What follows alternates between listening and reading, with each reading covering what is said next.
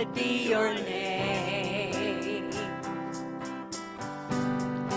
Blessed be your name when I'm found in the desert place. Though I walk through the wilderness, blessed be your name.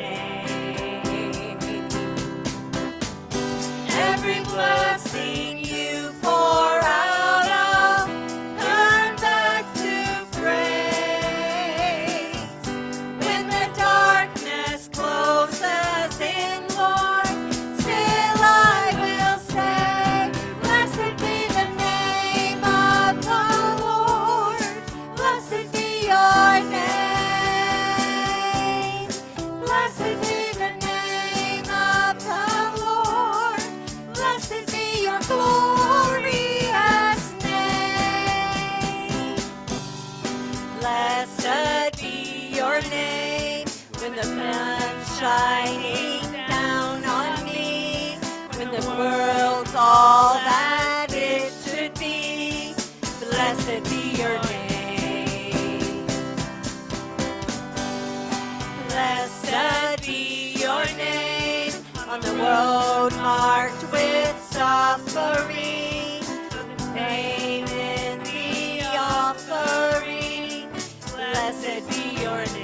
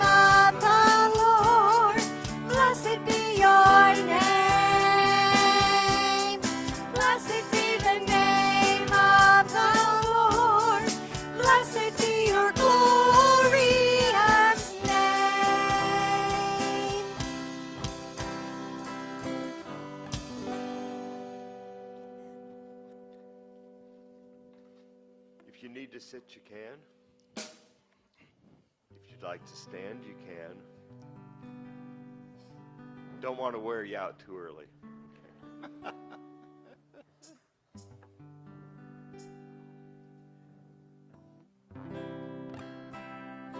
Let's sing of the goodness of God. I love you, Lord, for your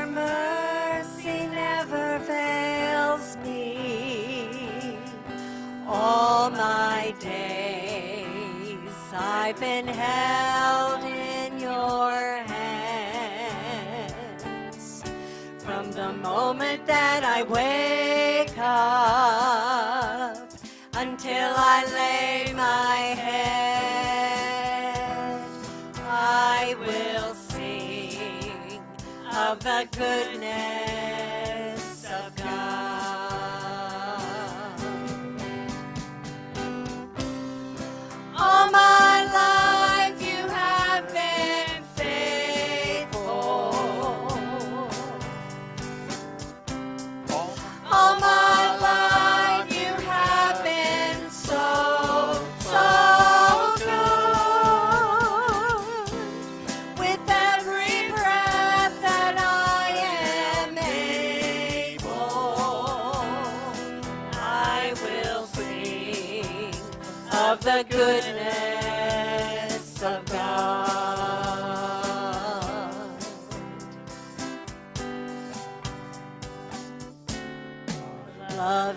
voice.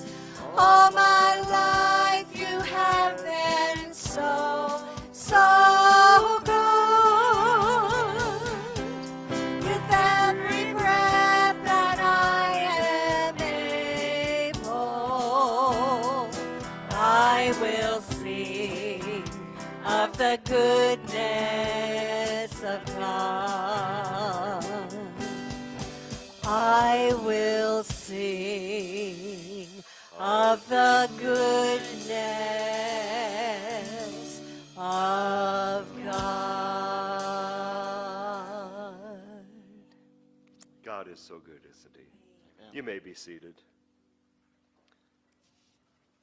Thank you so much for the joy of being together today, for your being here. I hope that this has been a good week for you and that you are looking forward to the presence of God in your life, no matter what comes your way this coming. But this has not been an easy week for Debbie and I. We've kind of struggled. There are family issues going on, and and we haven't really helped one another like you know you, that usually does. Usually one of us up and one of us down, and we help each other. What happens when you're both down?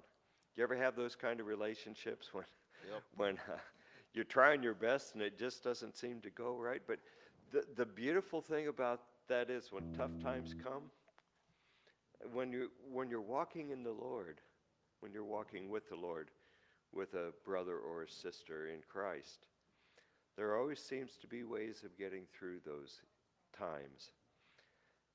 And and I I think we underestimate many times the goodness of God.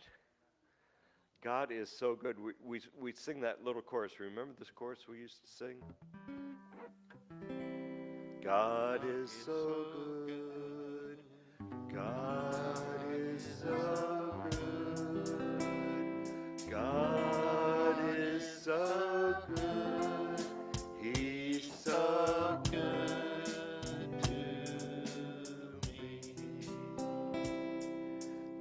isn't always good to us. Sometimes the people around us aren't always good to us. Life isn't good to us. Life happens, right? But through it all, God is good. Trust in the Lord with all your heart and lean not unto your own understanding. In all your ways, acknowledge Him, and He will direct your path. So if you're going through a tough time, God's still with you, and He will bring you through. The, uh, the first uh, pastor and his wife that we worked with way back when, when we were just youngsters, like those kids back in the corner. She said to us one day, uh, one cold winter day in southern Indiana, must have been that winter of 78. Do you remember that? The no, Pastor doesn't. The winter of 78 was just, eh, we you Floridians would know, but we, we were snowed in for a week or something like that. It just snow everywhere. She said, Remember, youngins, whatever happens to you in life and in ministry, remember these four words this too shall pass. And uh, that's true. So hang in there. Trust in God. God is good. God is faithful. Enough of that. Thank you for supporting the life of this congregation and the ministry that it has. We're going to ask uh, to come and wait upon us now as we bring our tithes and offerings. Father God, we thank you so much that we can trust you. You are good. You are faithful. We love you and we thank you for the opportunity to be here, to give, and to share our love for you with you as the people of God. In Jesus' name, amen.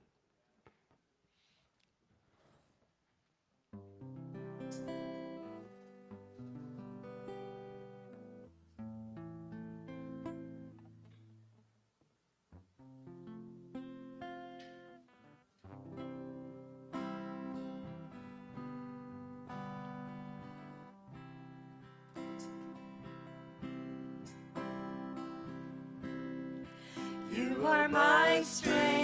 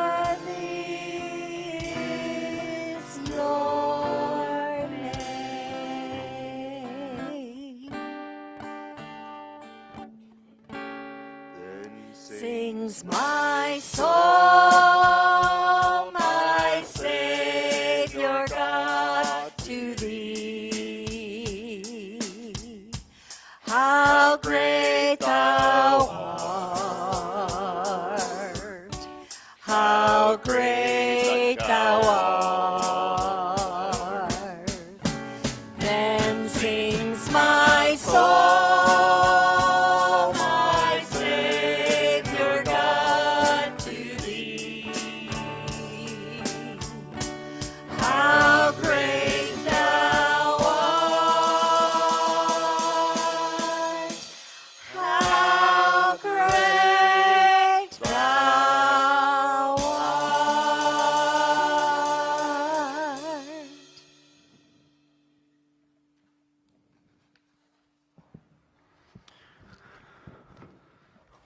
Church, this morning before I, I go to the sermon, um, if you would look, I know I talk about this pretty much every week. That's, that's better.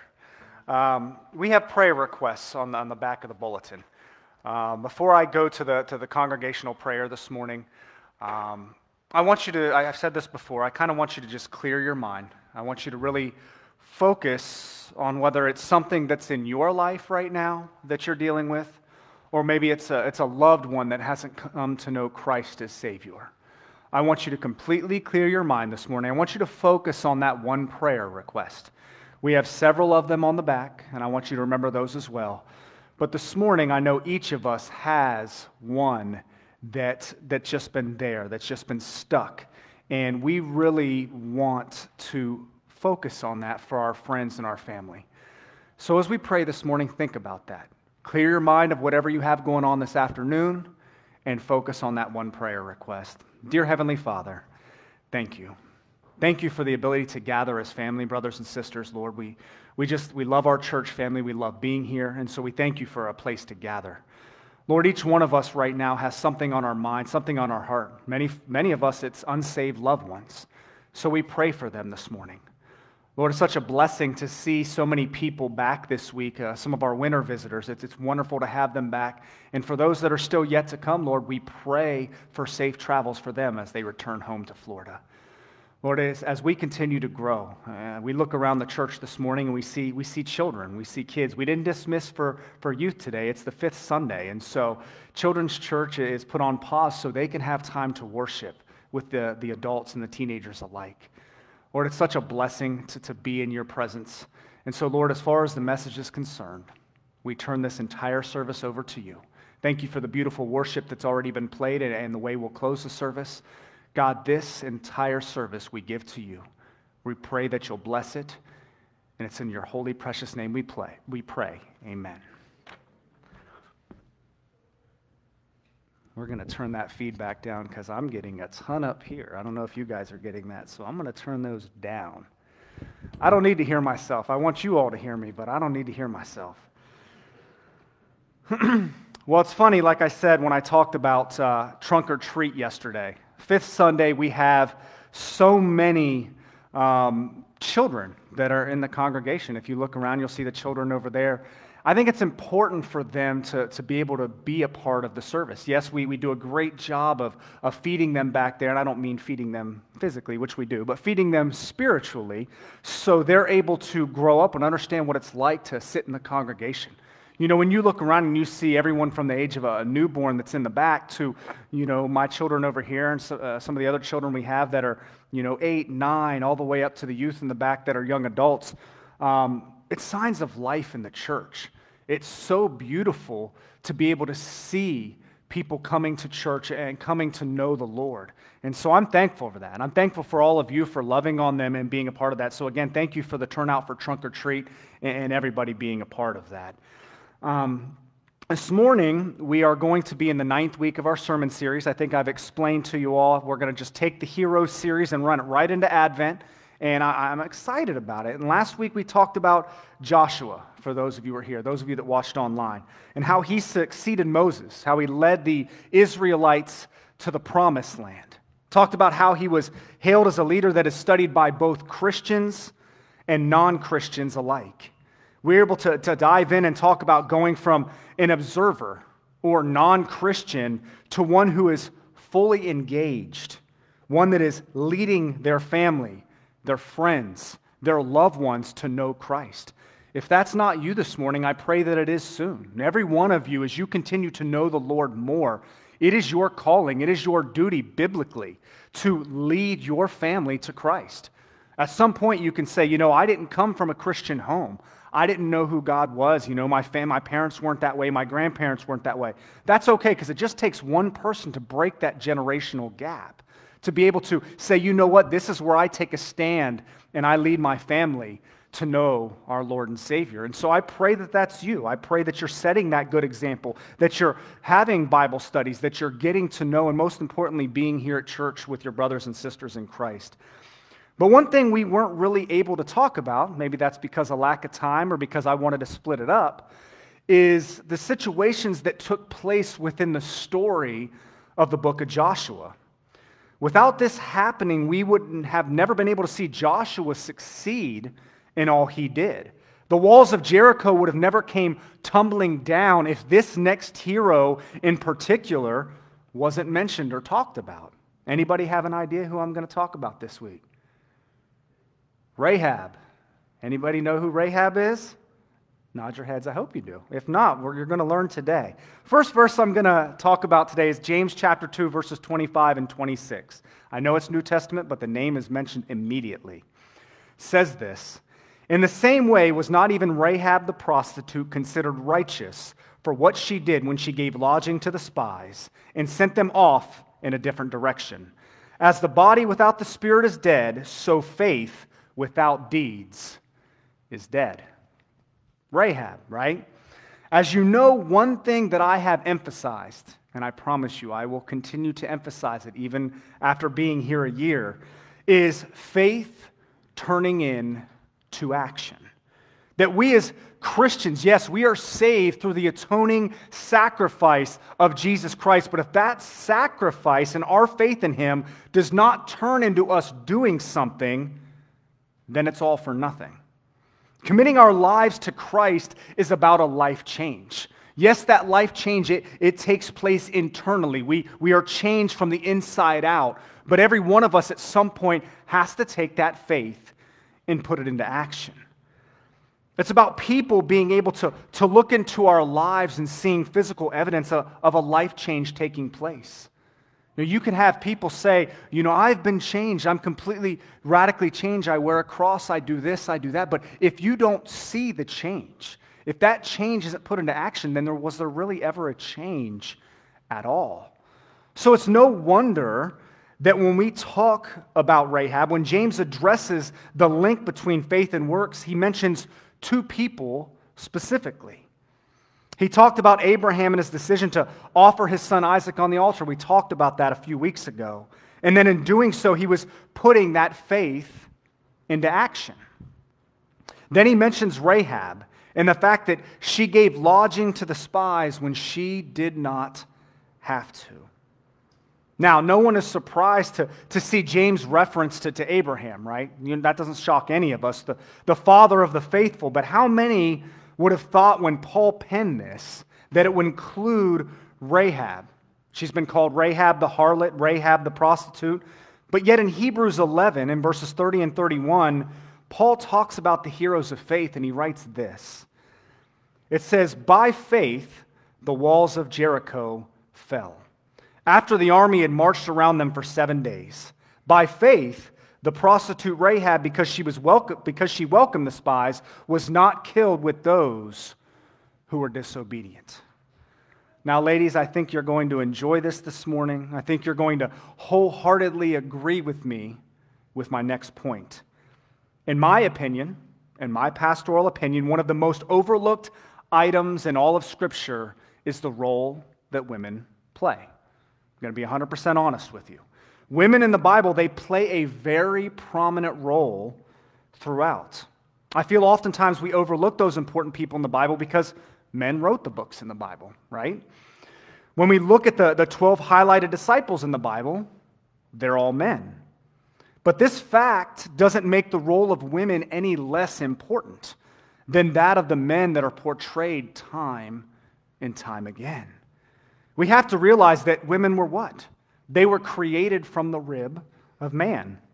And honestly, this is completely true of my wife anyway, but most of the time, your wives are your better half. See, my wife completes me. When I, like, like you both talked about a few minutes ago, Paul and Debbie, a lot of times when she's up, I'm down, and she's able to balance that. When I'm up and she's down, I'm able to counterbalance that. We complete each other. We really help in our spiritual walk to be able to help each other to be able to pray when the other one's weak. It's very, very important in the lives of a husband and wife who call themselves Christians. She's my partner in ministry. I've said this many, many times, right? She does everything that she can to support me. My wife had a, a, wonderful job in Ohio, but when we took this leap of faith to come here a year ago, she said, You know what? This is where God's calling us. I'm in. Let's go. And, she trusted that God would provide, and God has provided. Look at the church, look at the people. He's blessing our congregation, and it's a beautiful, beautiful thing. Honestly, and I'm going to say this right, men, don't, don't throw things at me yet. Nine times out of 10, women make our lives easier. I'm just going to leave it at that. There's that 10% of the time sometimes they don't, but nine times out of 10, they make our lives easier, right? Is it any wonder that when Jesus died on the cross, when Jesus died on the cross, that there were four women attending to him in his last few moments on earth? A lot of you didn't know that, right? I'm not sure if you know this or not, but only two women are called on by name in Hebrews chapter 11, the heroes of faith. Those two women are Sarah and Rahab. And I'm also not sure if you know this fact, but Rahab was one of the ancestors of Jesus mentioned in the genealogy of Christ in the very first chapter of Matthew. As a matter of fact, Rahab was the great great grandmother of King David. A lot of you didn't know that either. So obviously, the story in heroism of Rahab deserves our serious, serious attention, in my opinion. Now, our hero from last week, Joshua, so we're going to get into the story now. So, our hero last week, Joshua, he sent out two men to spy secretly on Jericho, right? For those of you Bible historians, you know Jericho was a very, very important city in the Bible. Jericho was situated near the Jordan, and the Canaanites could plainly see the nearly three million Israelites camped on the plain across the river. The people in the city, they, they likely understood that their new neighbors, they weren't there to be friends. A lot of times, if you see another entire group of people coming to a city, they assume there's going to be a fight, there's going to be something happening, and they assume this wasn't for a good thing. They had heard how God had miraculously delivered them from slavery in Egypt. They had heard about the, the parting of the Red Sea. They had heard how the Israelites conquered other nations with the one true God leading the way. And I'll tie that into our faith this morning. A lot of us here, we, you know, we didn't grow up under the tutelage of a pastor. We didn't visit church until later in life. So we had to have somebody in our life that, that knew the one true God, that was able to mentor us, that was able to help us transform in who we were. Now, did that person do it all themselves? Absolutely not. They gave us advice, they pointed us to verses and things like that. And God ultimately changed us. But we had to have somebody point us to that, and that was the one true God. So, no wonder the people of Jericho, they were a tad bit anxious about Israel's presence in their backyard. To be honest, it freaked most of them out. And like any good military leader, Joshua decided to, to send spies to go within the walls and see what kind of defense they were working with and how hard it would be to conquer them. Now, I can promise one thing these spies, although they ended up in a, a very promiscuous part of town, if we mentioned Rahab and her profession, they were not on a pleasure seeking mission. You see, in these, these pagan cultures, these big houses by the city gates, they would often serve the city hotel as the city hotel for, for traveling caravans. Rahab and her family, they operated one of these inns at one of the most accessible points of the wall. Often these, and I'll put in quotations, rooms had a little emphasis on the word bed for the right price. I think we all know what that means. That's how Rahab got her title. So when the spies came to Rahab's inn and, and, lodged there, the king was alerted almost immediately because those spies, they stuck out like a sore thumb. They didn't fit in, they didn't look like the others. In Joshua chapter 2, verses 3 through 5, it says this So the king of Jericho sent this message to Rahab Bring out the men who came to you and entered your house, because they have come to spy out the whole land. But the woman had taken the two men and hidden them. She said, Yes, the men came to me, but I did not know where they had come from. At dusk, when it was time to close the city gate, they left. I don't know which way they went. Go after them quickly. You may catch up with them. Now, as we all know, this is one of the things that, that Rahab does that she is well known for. See, Rahab, she lived with these awful people. She committed awful acts almost daily, and she was completely engulfed in sin most of her life. However, she lived there, it was her home. She was one of them. But by aligning herself with God's people instead of her own, she was putting herself and her family in harm's way, even though she was doing the right thing. Why would she do this? What would make her take such a, a, risk for her family? What would make her take a risk that she could possibly be killed for? You see, Rahab, again, she had heard about the God of the Israelites. She was very intrigued by the other religions, but they didn't make sense to her. So when they mentioned to her, it, nothing moved her like this God did. She heard about those miracles taking place and, and the power that the Lord possessed. See, for many of us, our first experience in church, we've heard about God doing something in somebody's life. Some of my favorite things that I've witnessed over the years God curing somebody of cancer. I've seen God take away pain in people. I've seen God, you know, do these amazing things. And then I've seen the greatest act of all. I've seen God completely transform a sinner who you never thought in a million years would change their life to come to be something new. That's the God I've witnessed. That's the God that intrigued me and made me want to move. So Rahab, she heard about this. And she really thought to herself, this God must truly love his people in order to perform these signs and wonders.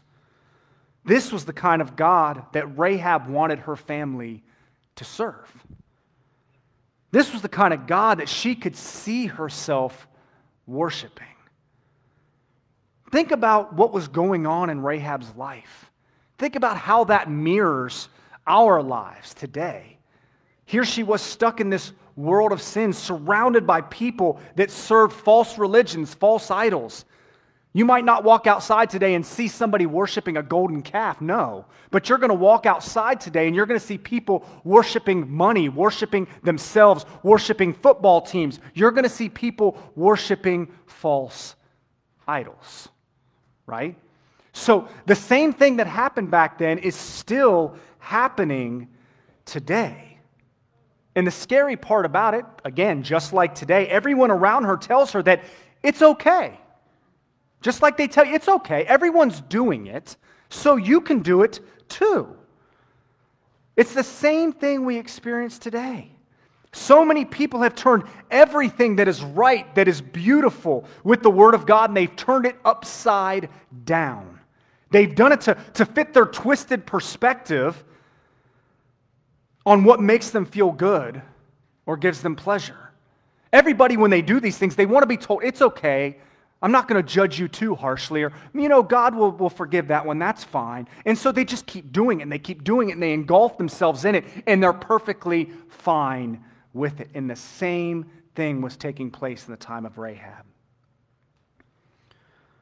And even though these, these very same things, then and today, are detestable in the eyes of God, they continued to proceed to do them anyway. So, in my opinion, I believe Rahab, she had been praying for a way out. How many of you at some point in your life had just fell to your knees or just gone there? Again, we had prayer a moment ago praying for family members, said, You know what? I'm done. I can't live like this anymore. I can't feel like this anymore. Lord, I need a way out. I think we've all been there. I don't think we'd be here this morning if we hadn't been there at some point. And I think Rahab was in the same way.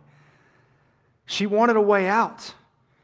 She was sick of experiencing chaos. She was sick of experiencing heartache. She didn't want to be weighed down by the sin that she was committing every single day in her life any longer.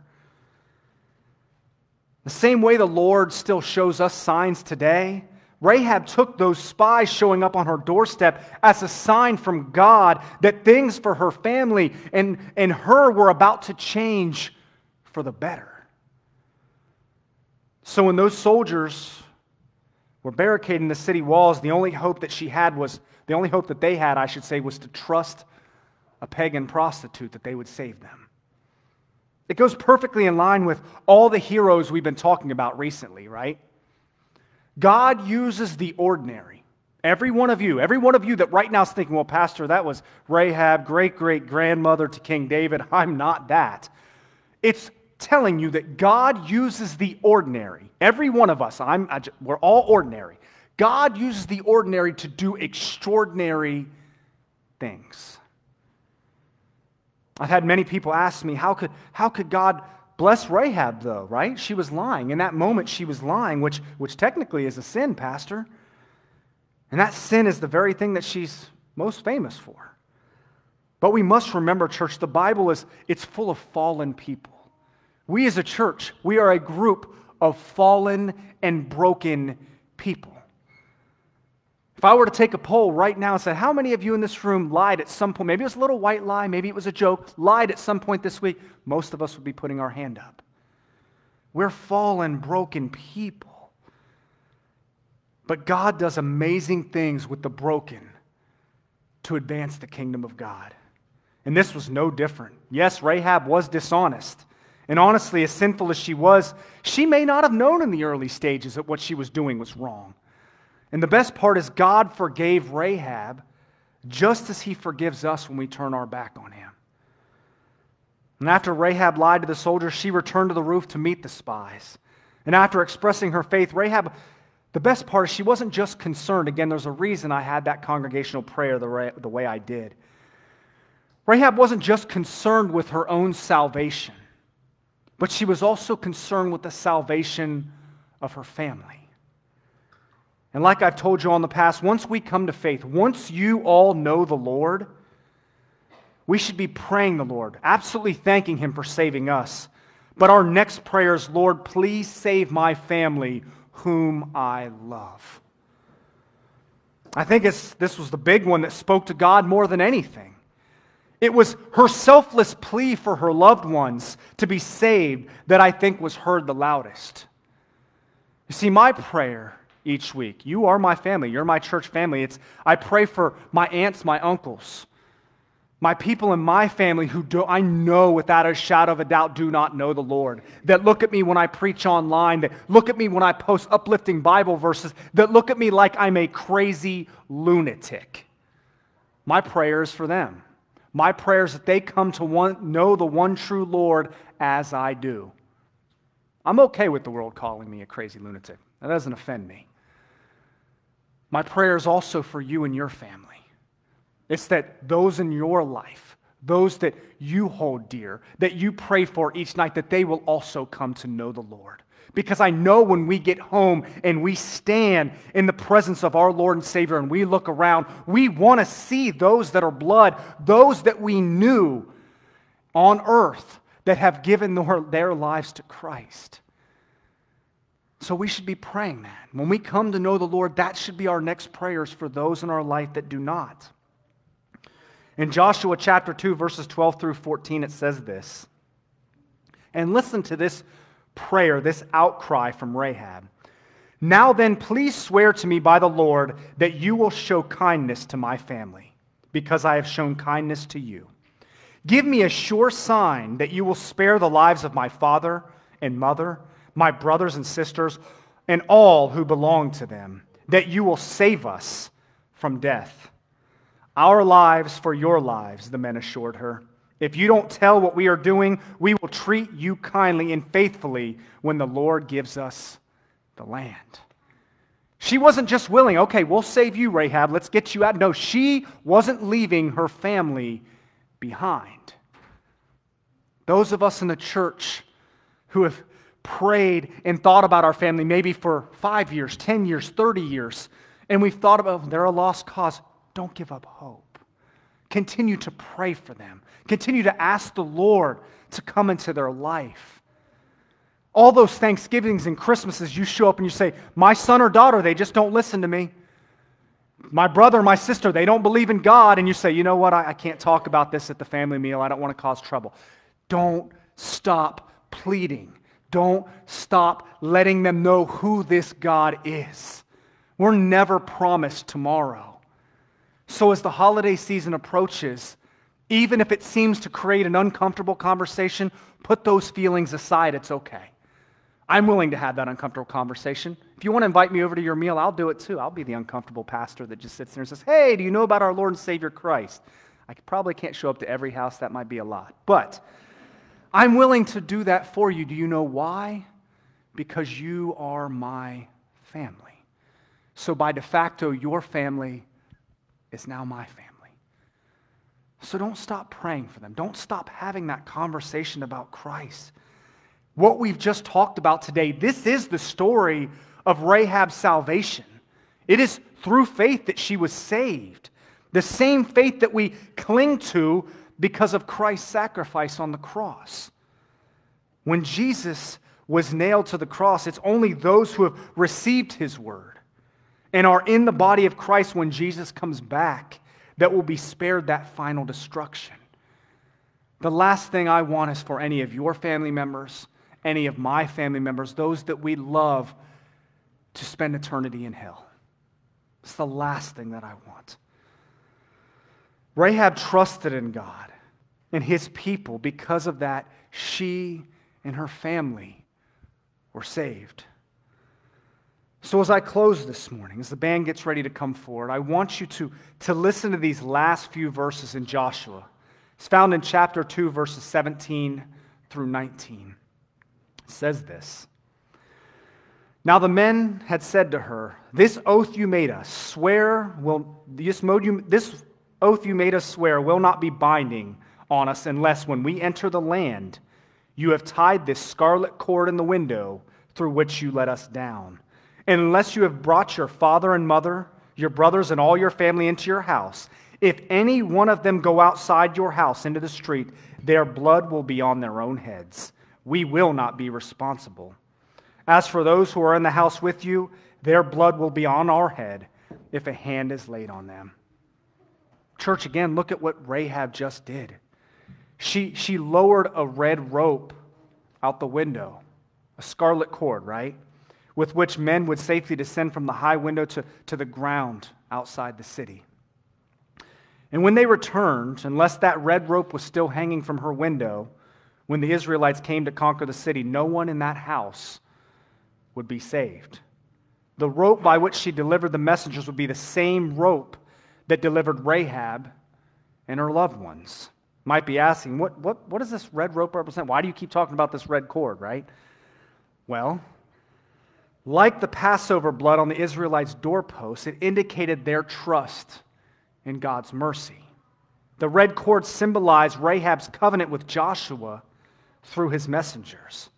This is the story of salvation.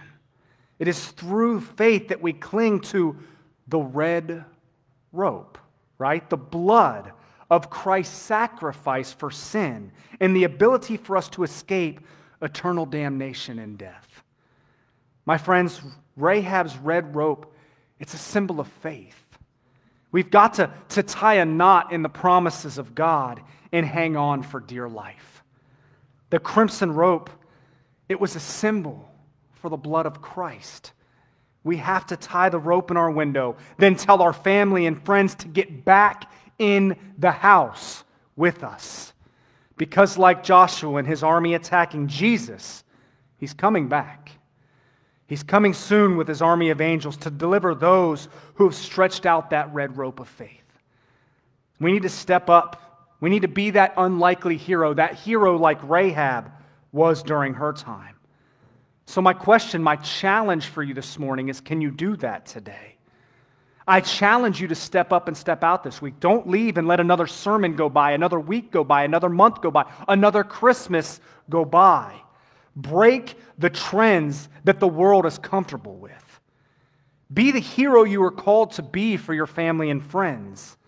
That's what Joshua asked of Rahab, and what Jesus is asking from you. Will you be the one to lead your family to Christ, just as Rahab led her family to the Lord? Will you be the one to break the, the sinful trend that runs so deep in every single one of our families?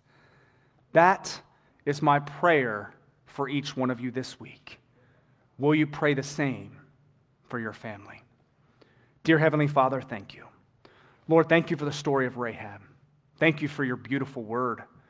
Thank you for each and every person that came out this morning and those watching online, Lord. Every one of us, every single one of us here today has somebody in our family who does not believe. Somebody who has given us heartache, who gives us heartbreak constantly because we know that they do not know the Lord like we do. So, Lord, those of us that are maybe on the fence about faith, I pray for them. I pray for us. I pray for the people in this church who are, wrestling with their own life and their relationship with you.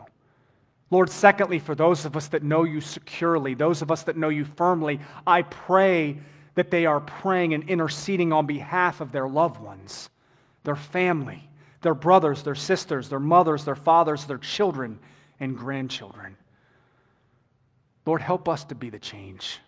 Help us to be the light. Help us to break the lineage, the curse that resides within that.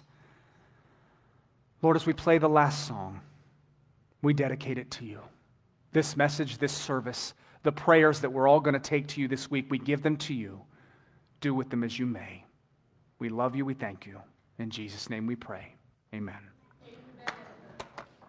Amen. Shall we stand as we face this week and the days before us?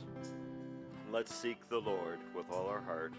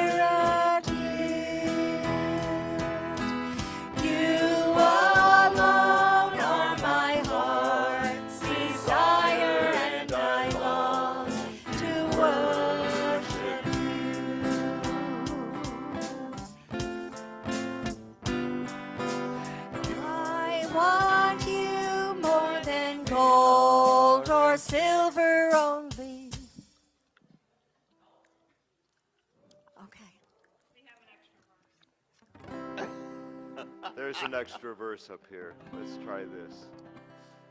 You're my friend. There we go. my friend, and you are my brother, even though you are a king.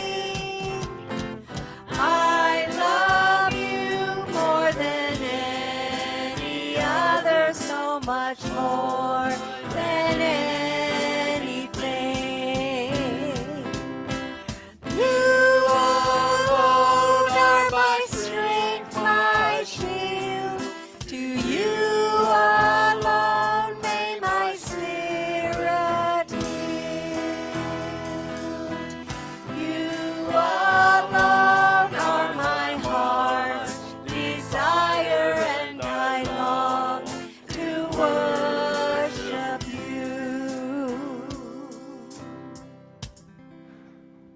Becky, will you keep that up? Put that last slide back up there.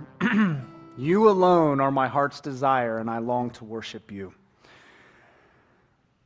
They say you set an example by the way you are, by the way you act, the things that you do. So when your family this season sees you, when you talk about your faith, when you tell them that Jesus Christ is your Lord and Savior, when you say you put Him above all else, do they see that in you? You alone are my heart's desire, and I long to worship you. Because if they don't see it in you, they're not going to buy it for them. They need to see that in you more than anything else. So, this season, as we approach Thanksgiving and Christmas, and you get to spend that time with those loved ones that do not know God, let them know that He is your heart's desire, that you do long to worship Him above everything else in this world. Amen? Amen? Dear Heavenly Father, thank you. Thank you for every single person here today. Thank you for those watching online. As we leave this morning, Lord, we give it all to you. For those of us that have been lacking in our faith, I pray that we can take the next step, that we can come back to you, that we can repent of the, the things we've done, the way we've been caught up in the world, Lord. It's okay because we can repent for that and we can get back on track. So, Lord, we, a congregation here at Spirit Lake, we give our lives to you again this morning. Use us as you may to influence family, friends, and community. Lord, we love you. We thank you. It's in Jesus' name we pray.